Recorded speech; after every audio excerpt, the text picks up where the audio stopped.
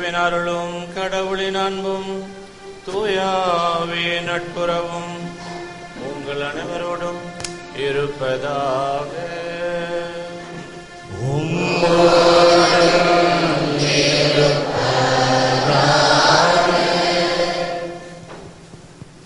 இயேசுவில் பிரியமான சகோதர சகோதரிகளே இன்று தினம் நாம் திருவழிபாட்டாண்டிலே தவக்காலத்தை தொடங்குகின்றோம்.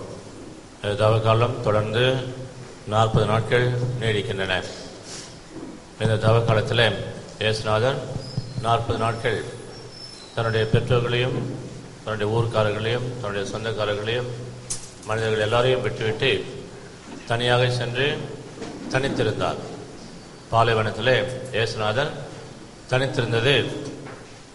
தன்னுடைய தகப்பன் பிதாவாகிய இறைவனோடு பேசி தன்னுடைய வாழ்நாளில் தான் இந்த உலகத்தில் சாதிக்க வேண்டிய காரியங்களை பற்றி மிகவும் நுணுக்கமாக தன்னுடைய தகப்பனோடு உரையாடி கொண்டிருந்தார்.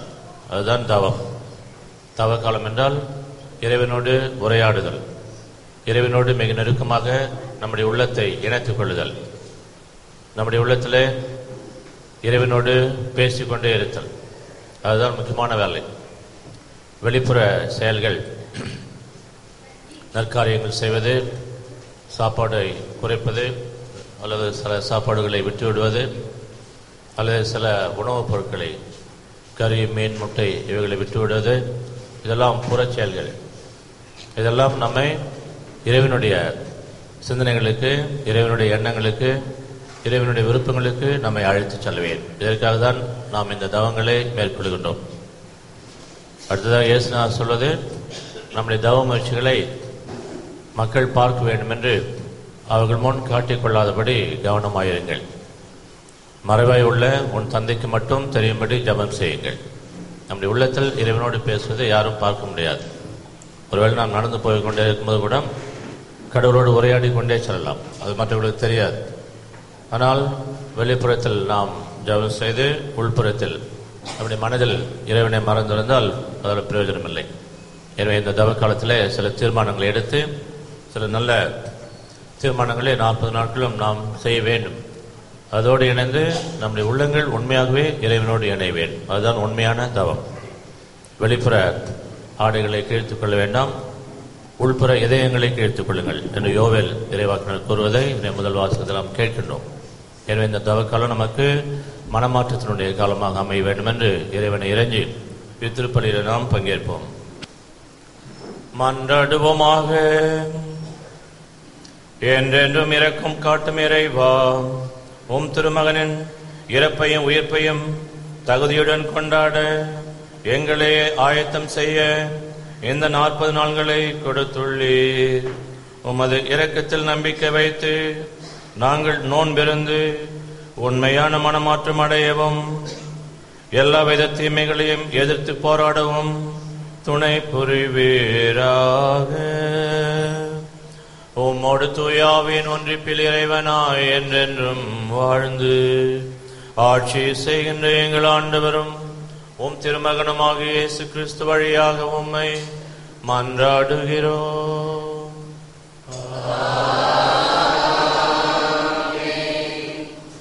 முதல் வாசகம். நீங்கள் உடைகளை கிழித்துக் கொள்ள வேண்டாம் இதயத்தை கிழித்து கொள்ளுங்கள். இறைவாக்கினர் யோவேஸ் நூலிலிருந்து வாசகம். அதிகாரம் இரண்டு இறைவசனங்கள் பனிரெண்டு முதல் பதினெட்டு முடிய. ஆண்டவர் கூறுகிறார் இப்பொழுதாவது உண்ணா நோன்பிருந்து அழுது புலம்பிக் கொண்டு உங்கள் முழு இதயத்தோடு என்னிடம் திரும்பி வாருங்கள். நீங்கள் உங்கள் உடைகளை கிழித்து கொள்ள வேண்டாம். இதயத்தை கிழித்து கொண்டு உங்கள் கடவுளாகிய ஆண்டவரிடம் திரும்பி வாருங்கள். அவர் அருள் நிறைந்தவர் இரக்கம் மிக்கவர் நீடிய பொறுமையுள்ளவர் பேரன்பு மிக்கவர். செய்ய கருதிய தீங்கை குறித்து மனம் மாறுகின்றவர். ஒருவேளை அவர் தம் மனத்தை மாற்றிக்கொண்டு உங்கள் கடவுளாகிய ஆண்டவருக்கு தானிய படையலையும் நீர்ம படையலையும் நீங்கள் அளிக்குமாறு உங்களுக்கு ஆசி வழங்குவார். இதை யார் அறிவார்? சியோனில் எக்காலம் ஊதி எச்சரியுங்கள். புனிதமான உண்ணா நோன்புக்கென நாள் கூறியுங்கள். வழிபாட்டு பேரணியை திரட்டுங்கள். மக்களை திரண்டு வரச் செய்யுங்கள். புனித கூட்டத்திற்கு ஏற்பாடு செய்யுங்கள். முதியோரை கூட்டி வரச் செய்யுங்கள். பிள்ளைகளையும் பால் குடிக்கும் குழந்தைகளையும் ஒரு சேர கூட்டுங்கள். மணமகன் தன் அறையை விட்டு வெளியேறட்டும். மணமகள் தன் மஞ்சத்தை விட்டு புறப்படட்டும். ஆண்டவரின் ஊழியர்களாகிய குருக்கள் கோவில் மண்டபத்திற்கும் பலிபீடத்திற்கும் இடையே நின்று அழுத வண்ணம் ஆண்டவரே உம் மக்கள் மீது இரக்கம் கொள்ளும். உமது உரிமை சொத்தை வேற்றினத்தார் நடுவில் நிந்தைக்கும் பழிச்சொல்லுக்கும் ஆளாக்காதீர் என சொல்வார்களாக. அவர்களுடைய கடவுள் எங்கே? என வேற்றினத்தார் கூறவும் வேண்டுமோ? அப்பொழுது ஆண்டவர் தம் நாட்டின் மேல் பேரார்வம் கொண்டு தம் மக்கள் மீது கருணை காட்டினார். இது ஆண்டவர் வழங்கும் அருள் வாக்கு.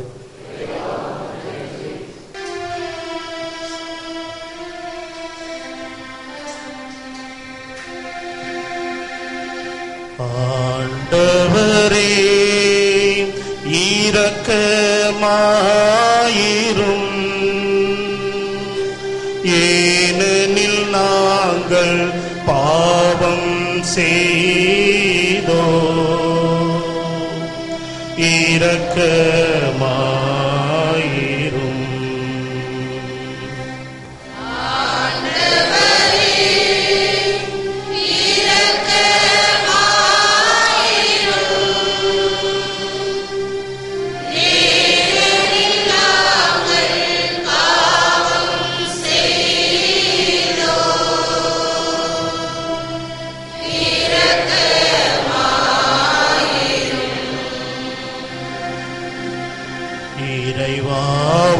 இரக்கத்திற்கேற்ப என்மேல் இரக்கம் வையும்.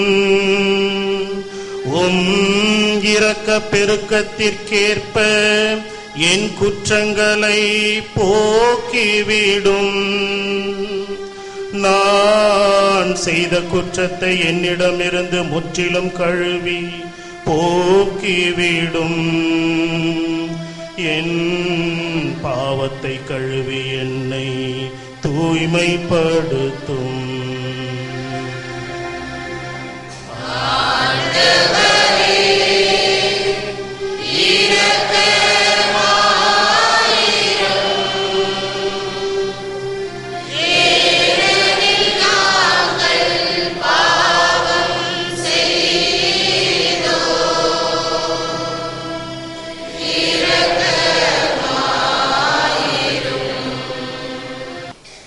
இரண்டாம் வாசகம். கடவுளோடு ஒப்புரவாகுங்கள் இதுவே தகுந்த காலம். திருத்தூதர் பவுல் கொரிந்தேருக்கு எழுதிய இரண்டாம் திருமுகத்திலிருந்து வாசகம் அதிகாரம் ஐந்தில் இருபதும் ஆறில் ரெண்டும் முடிய வாசிக்க கேட்போம். சகோதர சகோதரிகளே நாங்கள் கிறிஸ்துவின் தூதுவராக இருக்கிறோம். கடவுளே எங்கள் வாயிலாக வேண்டுகோள் விடுக்கிறார். ஆகவே கடவுளோடு ஒப்புரவாகுங்கள் என்று கிறிஸ்துவின் சார்பில் நாங்கள் மன்றாடுகிறோம். நாம் கிறிஸ்து வழியாக தமக்கு ஏற்புடையவராகுமாறு கடவுள் பாவம் அறியாத அவரை பாவ நிலையில் ஏற்க செய்தார். நீங்கள் கடவுளிலிருந்து பெற்றுக்கொண்ட அருளை வீணாக்க வேண்டாம் என அவரோடு இணைந்து உழைக்கும் நாங்கள் கேட்டுக்கொள்கின்றோம். தகுந்த வேளையில் நான் உமக்கு பதிலளித்தேன். விடுதலை நாளில் உமக்கு துணையாய் இருந்தேன். என கடவுள் கூறுகிறார். இதுவே தகுந்த காலம் இன்றே மீட்பு நாள். இது ஆண்டவர் வழங்கும் அருள்வாக்கு.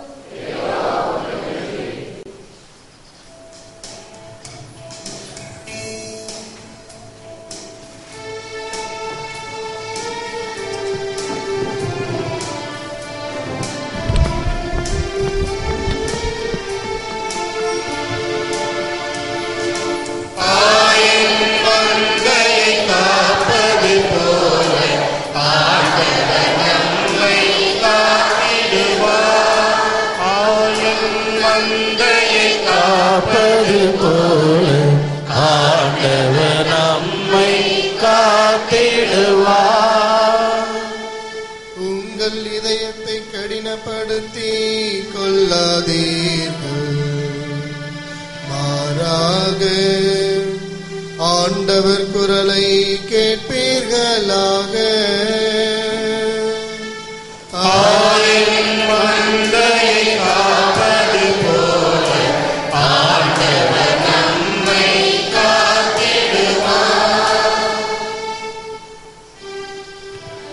ஆண்டவர் உங்களோடு இருப்பாராக.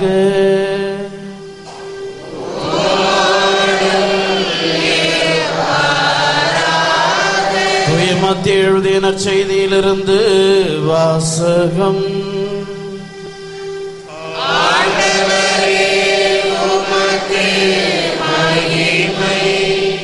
அதிகாரம் ஆறு உயிருள்ள இறை வார்த்தைகள். ஒன்று முதல் ஆறு முடிய மேலும் பதினாறு முதல் பதினெட்டு முடிய உள்ள இறை வசனங்கள். அக்காலத்தில் இயேசு தம் சீடரை நோக்கி கூறியது மக்கள் பார்க்க வேண்டும் என்று அவர்கள் முன் உங்கள் அறச்செயல்களை செய்யாதீர்கள். இதை குறித்து நீங்கள் எச்சரிக்கையாய் இருங்கள். இல்லையென்றால் உங்கள் விண்ணக தந்தையிடமிருந்து உங்களுக்கு கைமாறு கிடைக்காது. நீங்கள் தர்மம் செய்யும் போது உங்களை பற்றி தம்பட்டம் அடிக்காதீர்கள். வெளிவேடக்காரர் மக்கள் புகழ வேண்டும் என்று தொழுகை கூடங்களிலும் சந்துகளிலும் நின்று அவ்வாறு செய்வர். அவர்கள் தங்களுக்குரிய கைமாறு பெற்றுவிட்டார்கள் என உறுதியாக உங்களுக்கு சொல்கிறேன். நீங்கள் தர்மம் செய்யும் போது உங்கள் வழக்கை செய்வது இடக்கைக்கு தெரியாதிருக்கட்டும். அப்பொழுது நீங்கள் செய்யும் தர்மம் மறைவாயிருக்கும். மறைவாய் உள்ளதை காணும் உங்கள் தந்தையும் உங்களுக்கு கைமாறு அளிப்பார். நீங்கள் இறைவனிடம் வேண்டும் பொழுது வெளிவேடக்காரரை போல் இருக்க வேண்டாம். அவர்கள் தொழுகை கூடங்களிலும் வீதியோரங்களிலும் நின்று கொண்டு மக்கள் பார்க்க வேண்டும் என இறைவேண்டல் செய்ய விரும்புகிறார்கள். அவர்கள் தங்களுக்குரிய கைமாறு பெற்றுவிட்டார்கள் என உறுதியாக உங்களுக்கு சொல்கிறேன்.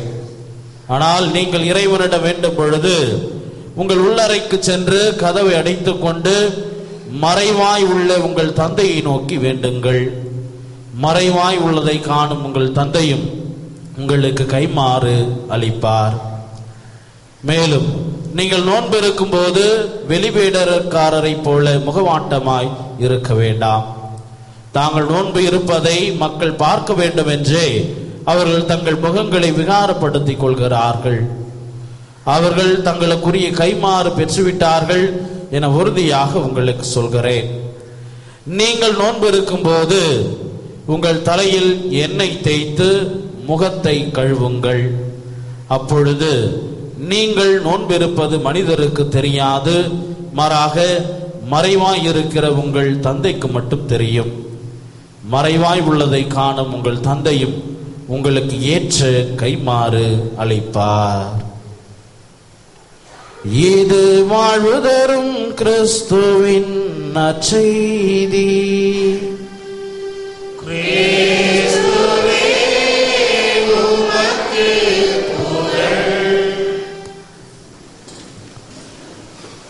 இயேசுவில் அன்புமிக்க சகோதர சகோதரிகளே பெற்றோர்களே பெரியோர்களே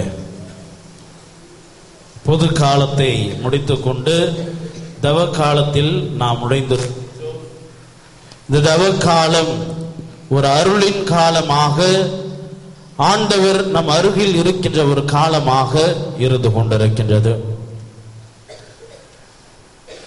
தந்தையினுடைய அன்பையும் பரிவையும் அவருடைய இரக்க பெருக்கத்தையும் அனுபவிக்கின்ற சுவைக்கின்ற ஒரு காலமாக இந்த தவ காலம் இருப்பதை நம்முடைய வாழ்வில் நாம் உணர்ந்து கொள்ளலாம்.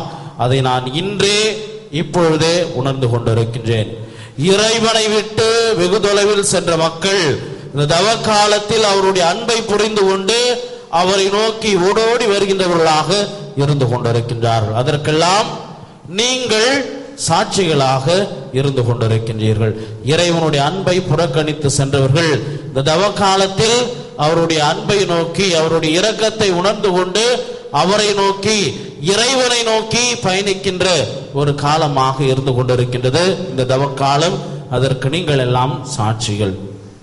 ஏன்னா மற்ற நாட்களில் திருப்பலிக்கு எத்தனை பேர் வந்திருக்கிறாங்கன்னு பார்த்தோம் என்றால் ஒரு பத்து பேர் இங்க இந்த ஆண்ட உள்விடுதி மாணவர்கள் அப்புறம் உள்விடுதி மாணவிகள் அருட்சகோதரிகள் என்று ஒரு ஐம்பதற்குள்ளாக மட்டுமே இந்த மக்கள் இருப்பார்கள். ஆனால் இன்று இந்த ஆலயம் முழுக்க நிரம்பி வெளியில் மக்கள் கூட்டம் இருக்கின்றதென்றால் இந்த தவக்காலத்தினுடைய மேன்மையை உன்னதத்தை உணர்ந்து இறைவனை நோக்கி பயணிக்கின்றவர்களாக தங்களுடைய பாவ வாழ்க்கையை அப்புறப்படுத்தி விட்டு தூய்மையான வாழ்க்கையை வாழ ஒவ்வொருவரும் முயற்சிக்கின்றவர்களாக நாம் இருந்து கொண்டிருக்கின்றோம். அதைத்தான் இந்த தவக்காலம் இன்றைய நாள் நமக்கு உணர்த்துவதாக நான் உணர்கின்றேன்.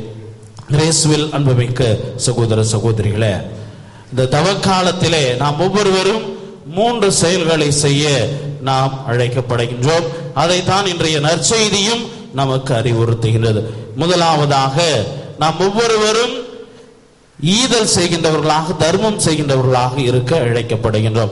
இன்றைய நற்செய்தியில் பார்க்கின்ற பொழுது நீங்கள் செய்கின்ற தர்மம் வேறு யாருக்கும் தெரியக்கூடாது. நீங்கள் செய்வது உங்களது உங்கள் இடது கை செய்வது வலது கைக்கு தெரியக்கூடாது என்று இறைமுகனேசு கிறிஸ்து கூறுவதை நாம் பார்க்கின்றோம். நாம் செய்கின்ற இந்த தர்மம் நம்முடைய வாழ்வை பாதுகாப்பதாக நம்முடைய சாவினின்று நம்மை மீட்பதாக நிறை வாழ்வளிப்பதாக இருக்கின்றது. அதைத்தான் தோபித் புத்தகம் அதிகாரம் பனிரெண்டு இறைவசனம் ஒன்பதிலே நாம் பார்க்கின்றோம். நீங்கள் செய்கின்ற தர்மம் உங்களை சாவி நின்று பாதுகாக்கின்றது. உங்களுடைய பாவங்களிலிருந்து உங்களை தூய்மையாக்குகின்றது. உங்களுக்கு நிறைவளிக்கின்றது என்று தோபித் புத்தகத்திலே நாம் வாசிக்கின்றோம். அப்படி என்றால் இந்த தவ காலத்திலே நாம் இந்த தர்மத்தின் வழியாக இறைவனை நோக்கி பயணிக்கின்றவர்களாகும் நம்முடைய பாவ வாழ்விலிருந்து நாம் விடுபடுகின்றவர்களாகவும் இருக்க நாம் அழைக்கப்படுகின்றோம். அதைத்தான் இறைமகனேசு கிறிஸ்து இன்றைய நற்செய்தியினுடைய முதல் பகுதியிலே தெல்ல தெளிவாக சுட்டி காட்டுகின்றார் இரண்டாவதாக நாம் ஒவ்வொருவரும் ஜெபம் செய்ய அழைக்கப்படுகின்றோம். இந்த யூதர்களுடைய வாழ்விலை பார்க்கின்ற பொழுது அவர்கள் மூன்று முறை ஒவ்வொரு நாளும் ஜெபம் செய்ய வேண்டும். இறைமகன் இயேசு கிறிஸ்துனுடைய அந்த மூன்று ஆண்டு கால பணி வாழ்விலை பார்க்கின்ற பொழுது காலை மதியம் மாலை என்று மூவேளையும் தந்தையிடத்திலே அவர் ஜெபித்தவராக இருப்பதை நாம் பார்க்கிறோம். அதே போன்று நாமும் இந்த தவ காலத்திலே ஜெபத்தில் ஆழ்ந்திருக்கின்றவர்களாக அந்த ஜெபத்தின் வழியாக நாம் தூய்மையான வாழ்வை மேற்கொள்கின்றவர்களாக அந்த தூய்மையான வாழ்வின் வழியாக இறைவனுடைய பரிவன்பை சுவைக்கின்றவர்களாக நம்முடைய வாழ்வில் இருக்க நாம் ஒவ்வொருவரும் இழைக்கப்படுகின்றோம் இறைமகன் இயேசு கிறிஸ்து எவ்வாறு தந்தையிடத்திலே மூன்று வேலையும் அவர் ஜெபத்தில் அவர் ஆழ்ந்து அவரோடு உரையாடினாரோ அதே போன்று நாமும் தந்தையோடு உரையாடுகின்றவர்களாக இந்த ஜப காலத்திலே நாம் தந்தையோடு ஜெபத்தின் வழியாக இணைகின்றவர்களாக இருக்க இழைக்கப்படுகின்றோம் இயேசுவில் அன்புமிக்க சகோதர சகோதரியில அதைத்தான் இன்றைய நற்செய்தியினுடைய மைய பகுதியில் இறைமகன் இயேசு கிறிஸ்து சுட்டி காட்டுவதை நாம் பார்க்கின்றோம். நீங்கள் ஜெபிக்கின்ற பொழுது தந்தையிடத்திலே ஜெபியுங்கள் மறைவாய் ஜெபியுங்கள். உங்களுடைய வீட்டினுடைய வீட்டினுடைய கதவை சாத்தி கொண்டு தந்தையிடத்திலே ஜெபியுங்கள் என்று இறைமகன் இயேசு கிறிஸ்து அழைப்பு கொடுப்பதை நாம் பார்க்கின்றோம். எனவே முதலில் தர்மம் செய்ய வேண்டும். அதனைத் தொடர்ந்து ஜெபத்திலே இறைவனோடு இணைய இறைமகன் இயேசு கிறிஸ்து நமக்கு அழைப்பு கொடுக்கின்றார். மூன்றாவதாக பார்த்தோம் என்றால் நாம் தவத்தின் வழியாக இறைவனை நோக்கி பயணிக்கின்றவர்களாக இருக்க அழைக்கப்படுகின்றோம். இன்றைய நற்செய்தனுடைய இறுதி பகுதியிலே இறைமகன் இயேசு கிறிஸ்து அதைத்தான் நமக்கு அறிவுறுத்துகின்றார். வெளிவேடக்காரரை போன்று நீங்கள் முகவாட்டமாய் இருக்க வேண்டாம். நீங்கள் செய்கின்ற நோன்பு தந்தைக்கு மட்டும் தெரிந்தால் போதும் என்று குறிப்பிடுவதை நாம் பார்க்கின்றோம். இயேசுவில் அன்புமிக்க சகோதர சகோதரிகளே இந்த தவக்காலம் என்றாலே காவி உடை தரித்து நாம் உண்ணா நோன்பு இருக்கின்றவர்களாக இந்த புலால் உணவுகளை தவிர்க்கின்றவர்களாக இருந்து கொண்டிருக்கின்றோம். இதனால் எந்த ஒரு பயனும் நம்முடைய வாழ்வில் ஏற்பட போவது கிடையாது. மாறாக என்னிடம் இருக்கின்ற இந்த தீய பழக்கத்திலிருந்து முழுமையாக நான் விடுபடுகின்றவனாக. இந்த நாற்பது நாட்கள் மட்டுமல்ல என்னுடைய வாழ்நாள் முழுக்க நான் கொண்டிருக்கின்ற இந்த தீய பழக்கத்திலிருந்து விடுபடுபவனாக இருப்பேன் என்று ஏதாவது ஒரு தீய பழக்கத்தை குறித்து நீங்கள் அதிலிருந்து உங்களை நோன்பில் உங்களுடைய நோன்பை நீங்கள் ஆரம்பியுங்கள். தவத்தின் வழியாக அதை நீங்கள் வெற்றி கொள்கின்றவர்களாக இந்த தீய பழக்கம் உங்களுடைய வாழ்விலே இனிமேல் ஒருபொழுதும் அண்டாமல் அழுகாமல் இருக்க ஒரு தவ முயற்சியாக அதை நீங்கள் மேற்கொள்ள வேண்டும் என்று இறைவன் விரும்புகின்றார். இவ்வாறு ஒவ்வொரு ஆண்டும் நாம் நம்மிடம் இருக்கின்ற அந்த தீய பழக்க வழக்கங்களை பாவ நாட்டங்களை விட்டு விலகுகின்ற பொழுது நாம் இறந்தோம் என்றால் தூயவர்களாக புனிதர்களாக இறப்போம். இறந்த உடனேயே இறைவனுடைய சன்னதியில் அவருடைய திருமுகத்தை காணுகின்ற பேறு பலன்களை பெறுகின்றவர்களாக நாம் இருப்போம். எனவே இயேசுவில் அன்புமிக்க சகோதர சகோதரிகளே இந்த அருளின் காலம் இறைவனுடைய இறைவன் நம் அருகில் இருக்கின்ற இந்த தவ காலத்தில் தர்மத்தின் வழியாகவும் ஜபத்தின் வழியாகவும் தவத்தின் வழியாகவும் நாம் ஒவ்வொருவரும் இறைவனை நோக்கி பயணிக்கின்றவர்களாகும். இன்று தொடங்குகின்ற இந்த தவக்கால முயற்சிகள் நாம் இறக்கின்ற பொழுது நம்மை புனிதர்களாக மாற்றி இறைவனுடைய மான் வீட்டில் கொண்டு போய் சேர்ப்பதாக இருக்க வேண்டும். அத்தகையதொரு தவ முயற்சிகளை மேற்கொண்டு இறைவனை நோக்கி வெற்றி நடை போடுவோம். இறுதி நாளில் அவரோடு நாமும் இரண்டர கலப்போம். ஆமேன்.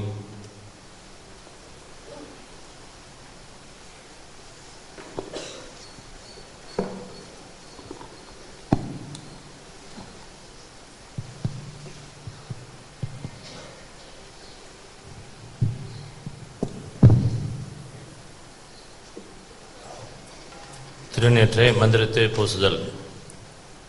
அன்புமிக்க சகோதர சகோதரிகளே தவத்தின் அடையாளமாக நம் நெற்றியில் பூசப்படும் இச்சாம்பல் மீது நம் தந்தையாக இறைவன் ஆசி வழங்குமாறு தாழ்மையுடன் மன்றாடுவோம்.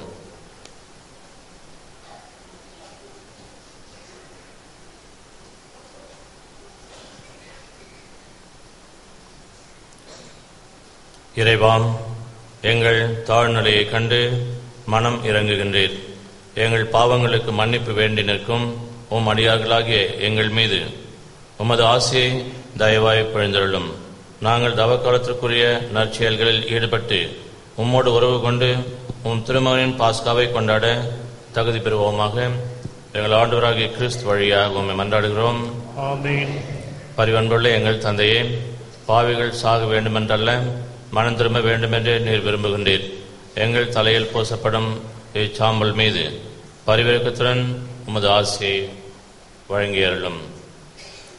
மண்ணாயிருக்கிறோம் என்றும் மண்ணுக்கே திரும்புவோம் என்றும் அறிந்திருக்கிற நாங்கள் தவ முயற்சிகளில் ஆர்வத்துடன் ஈடுபட்டு பாவம் மன்னிப்பும் உயிர்த்த உம் திருமகனின் சாயலுக்கொத்த புதுவாழ்வும் பெற்றுக்கொள்ளச் செய்தருளும். எங்கள் ஆண்டவராகிய கிறிஸ்து வழியாக உம்மை மன்றாடுகிறோம். ஆமென்.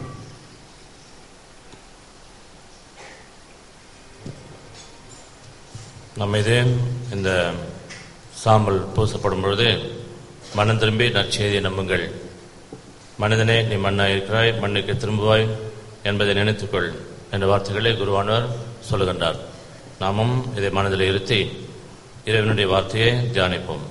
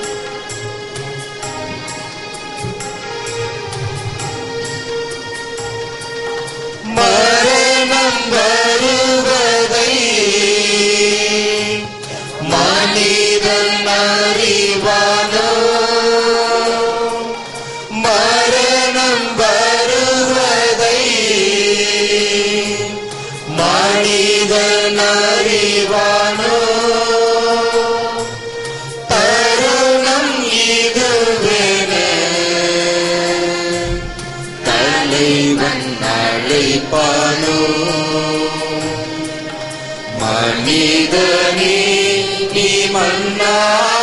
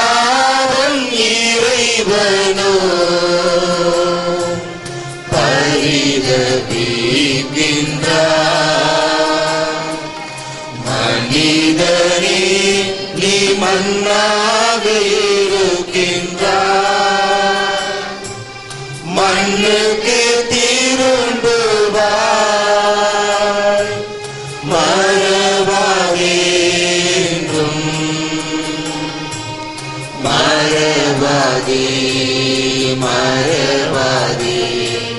மனிதனே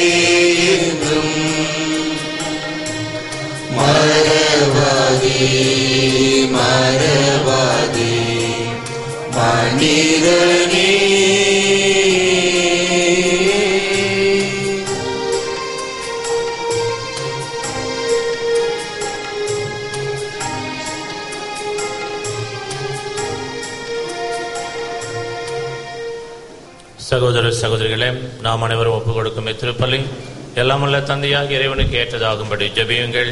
ஆண்டவர் தம் திருப்பெயரின் புரட்சிக்காகவும் மகிமைக்காகவும் நமது நன்மைக்காகவும் தமது பரிசு திருஷவிரணைக்கு நலன்களுக்காகவும் உமது கையிலிருந்து திருப்பலி ஏற்றுக்கொள்வாராக.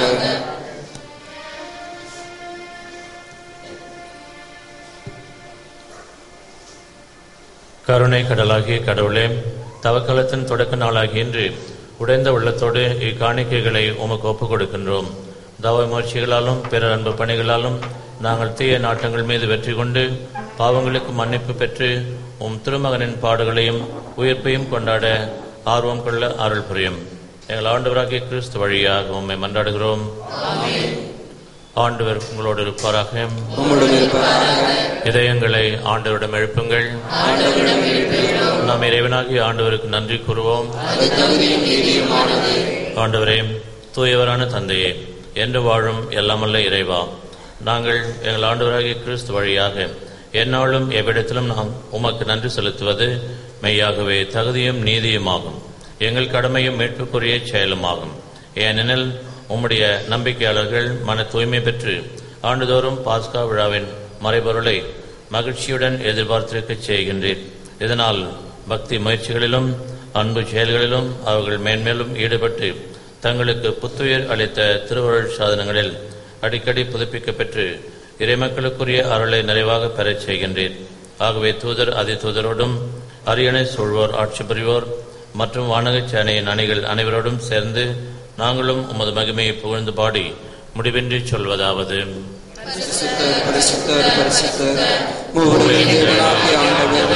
வானமும் பூமியும்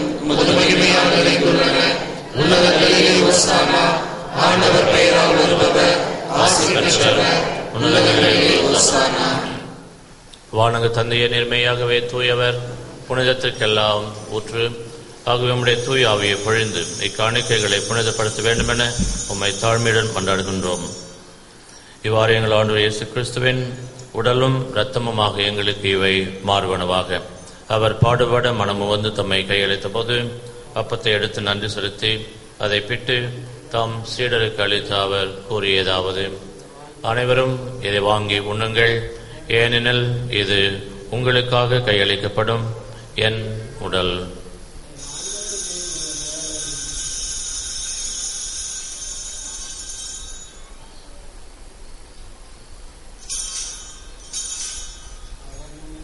அவனுமே உணவருந்திய பின் கிண்ணத்தை எடுத்து நன்றி செலுத்தி தம் சீடருக்கு அளித்த அவர் கூறியதாவது அனைவரும் இதை வாங்கி பருகுங்கள். ஏனெனில் இது புதிய நித்திய உடன்படிக்கைக்கான என் ரத்தம். இது பாவ மன்னிப்புக்கென்று உங்களுக்காகவும் எல்லாருக்காகவும் சிந்தப்படும். இதை என் நினைவாகச் செய்யுங்கள்.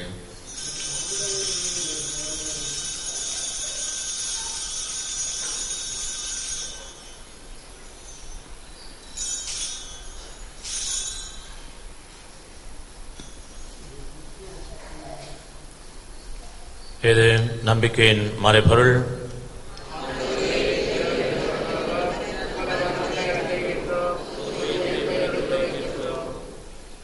ஆகவே இறைவாம் நாங்கள் கிறிஸ்துவின் இறப்பையும் உயிர்ப்பையும் நினைவு கூர்ந்து வாழ்வு தரும் அப்பத்தையும் மேற்பளிக்கும் கிண்ணத்தையும் உமக்கு ஒப்புக் கொடுக்கின்றோம். உம் திருமுன் என்று ஊழியம் புரிய தகுந்தவர்களென எங்களை ஏற்றுக்கொண்டீர். எனவே உமக்கு நன்றி செலுத்துகின்றோம். மேலும் கிறிஸ்துவின் உடலிலும் இரத்தத்திலும் பங்கு கொள்ளும் எங்களை தூய் ஆவி ஒன்று சேர்க்க வேண்டுமென உம்மை தாழ்மையுடன் மன்றாடுகின்றோம். இறைவா உலகெங்கும் பரவியிருக்கும் அது திருச்சபையை. சிறப்பாக எங்கள் திருத்தந்தை பிரான்சிஸ் எங்கள் பேராயர் ஆனந்தராயர் ஏனைய ஆயர்கள் திருப்பணியாளர்கள் துறவியர் பொதுநிலையினர் உமக்கு சொந்தமான மக்கள் ஆகிய அனைவரையும் நினைவு கூர்ந்தருளும். எங்கள் அனைவரையும் அன்பின் நிறைவை அடையச் செய்தருளும். தந்தையே இந்த வழியை தங்களுடைய இல்லங்களில் இருந்து இணையதளத்தின் வழியாம் தொலைக்காட்சியின் வழியாம் கண்டு ஜபிக்கவிருக்கின்ற நம்முடைய பிள்ளைகள் ஒவ்வொருவரையும் நீர்தாமே நிறைவாக ஆசிர்வதிக்க மேமன்று ஆடுகின்றோம் இந்த வழியின் வழியாக அவர்கள் வேண்டி விரும்பி கேட்கின்ற வளங்களையும் நல நலங்களையும் நிறைவாக பெற்றுக்கொள்ள நீர்தாமையால் புரியுமாறுமை வேண்டுகின்றோம். மேலும் உயர்த்தெழும் நம்பிக்கையுடன் இருந்து போன எங்கள் சகோதர சகோதரிகளையும் சிறப்பாக இந்த திருப்பலியில் நாங்கள் நினைவு கொண்டு கொண்டிருக்கின்ற எங்கள் பெற்றோர் உற்றார் உறவினர் உடன்பிறந்தோர் நண்பர்கள் இனம் யாரும் நினையாத ஆன்மாக்கள் ஆகிய அனைவரையும் நினைவு கூர்ந்து ஒளிமிக்கவும் திருமுனேற்றுக் கொள்ளும் எங்கள் அனைவர் மீதும் இரக்கமாயிரம். இறைவனின் கன்னித்தாயான மாட்சிமை மிக்க வேண்டிய வரங்களை தரும் வில்லியனூர் லூர்து அவருடைய கணவர் புனித சுசையப்பர் புனித அப்போஸ்தலர் இவ்வுலகில் மக்குகந்தவராய் இருந்தவர். ஆகிய புனிதர் அனைவருடனும் நாங்கள் நிலையான வாழ்வில் தோழ்மை கொண்டு உம் திருமகன் இயேசு கிறிஸ்து வழியாக உம்மை புகழ்ந்தேத்தும் வரமருளே உம்மை மற்ற ஆடுகின்றோம்.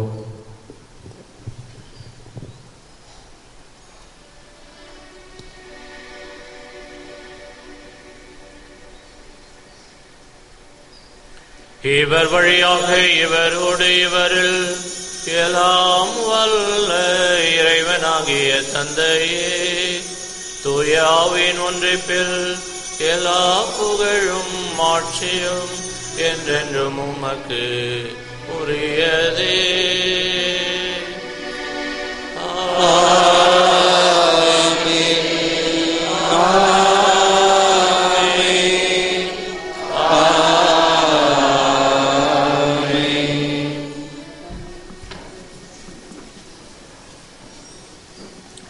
நாம் பிற குற்றங்களை மன்னிக்கவும்.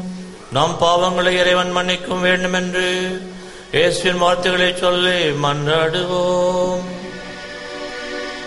பரலோகத்தில் இருக்கின்ற எங்கள் பிதாவே உம்முடைய நாமம் அச்சிக்கப்படுவதாக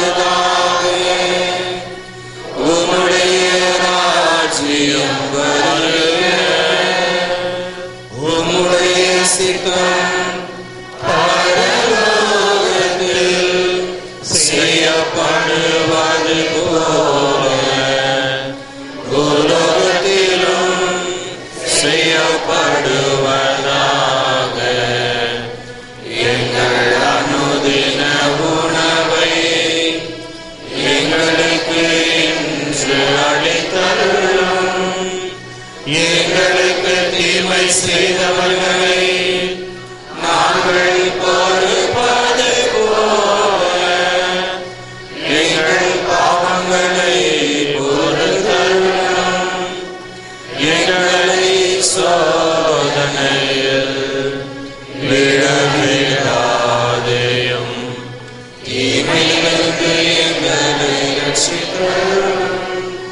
ஆண்டவரே தீமை அனைத்திலிருந்தும் எங்களை விடுவித்து எங்கள் வாழ்நாளில் அமைதியை கனிவுடன் அருள உண்மை மன்றாடுகிறோம் உமது இறக்கத்தின் உதவியால் நாங்கள் பாவத்திலிருந்து எப்போதும் விடுதலை பெற்று யாதொரு கலக்கமும் என்று நலமாயிருப்போமாக.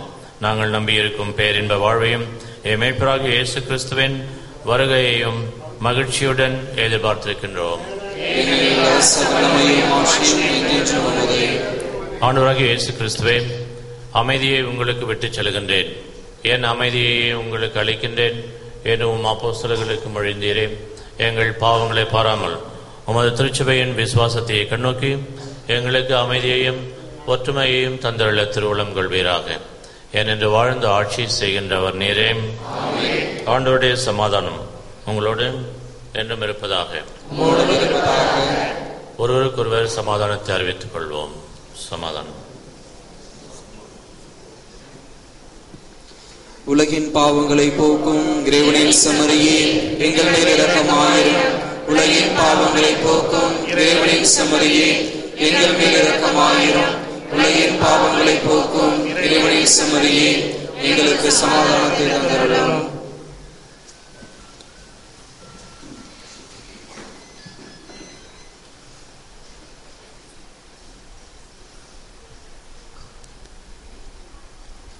இதோ நம் இறைவன் இயேசு கிறிஸ்து இவரை நமக்காக பாலைவனத்திலே நாற்பது பகல் நாற்பது இரவு நோன்பிருந்து நமக்காக வாழ்ந்தவர்.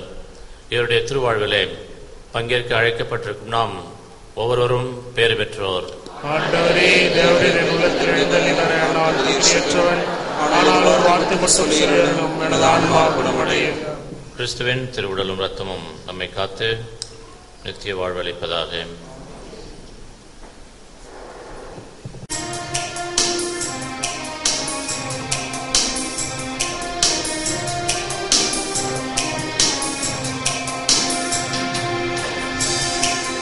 செம்மறியில் விருந்து கொள். அழைக்க பெற்றோர் பேரு பெற்றோர் அவை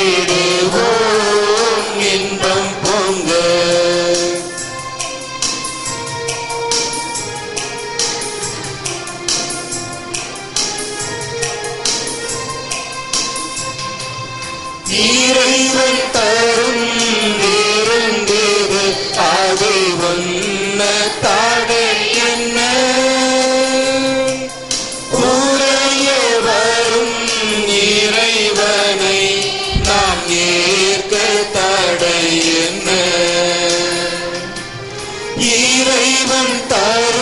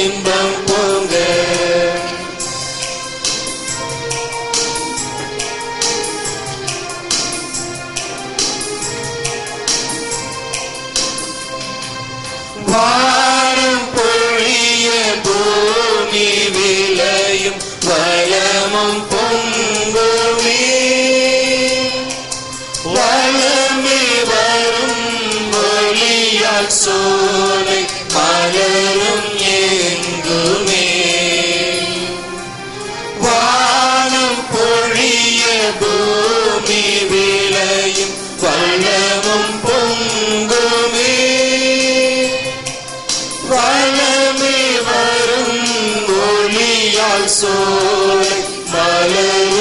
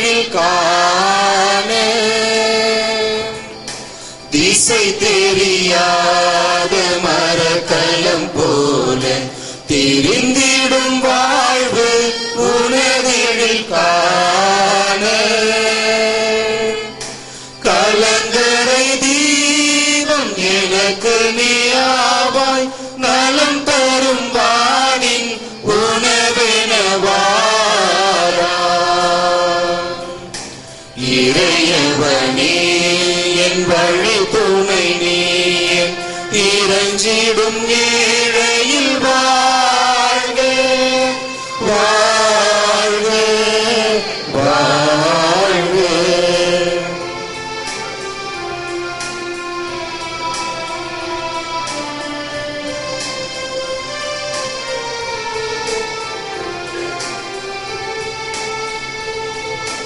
இக வழியாகி அக ஒளியாவாய் நீக்கி புது உறவாவாய் இக வழியாகி அக ஒளியாவாய் பகைமையை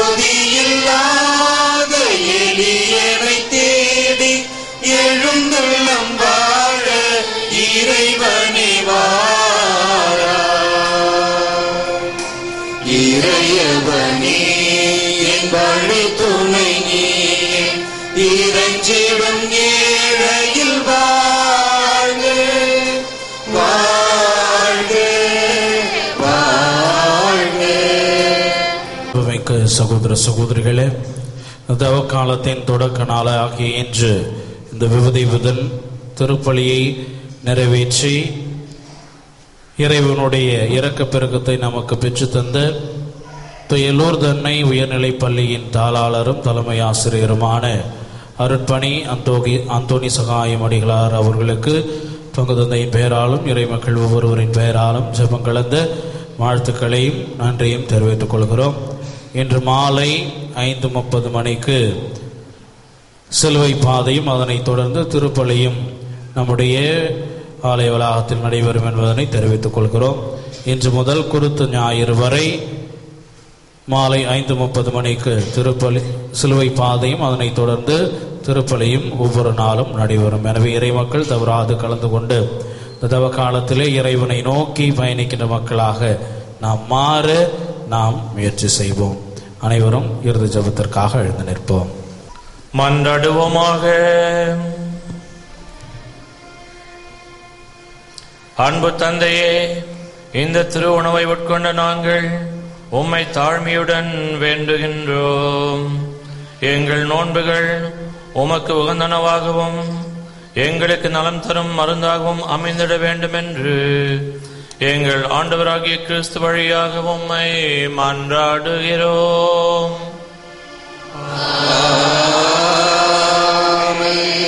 ஆண்டவர் உங்களோடு இருப்பாராக.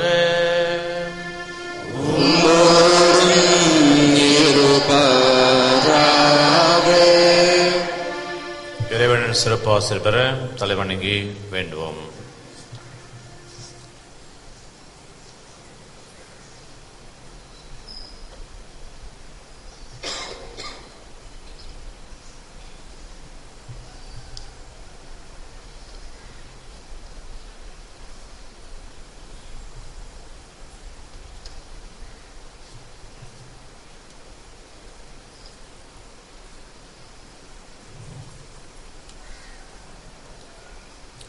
தாம் ஒரே மகனின் பாடுகளால் அன்புக்கு சிறந்த எடுத்துக்காட்டை தந்த இறக்கமுள்ள இறைவன். நீங்கள் மனிதருக்கும் இறைவனுக்கும் செய்யும் சேவை வழியாக தமது ஆசிய நிறைவை அடைய செய்வாராக.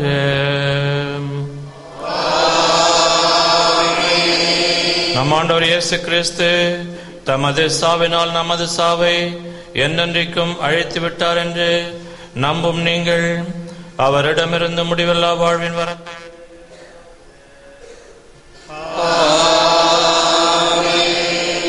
சிலுவை சாவு மட்டும் கீழ்ப்படைந்த இயேசு கிறிஸ்து காட்டிய தாட்சியை நீங்கள் பின்பற்றி அவரது உயிர்ப்பின் மகிமையில் பங்கு பெறுவீர்களாக.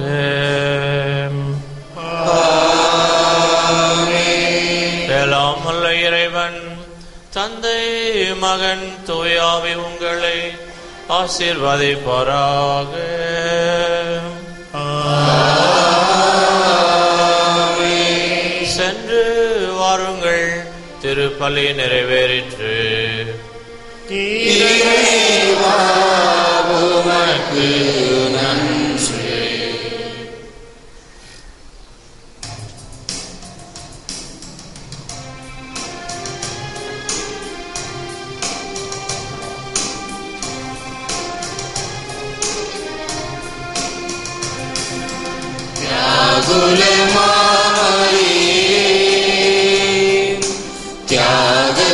Mama.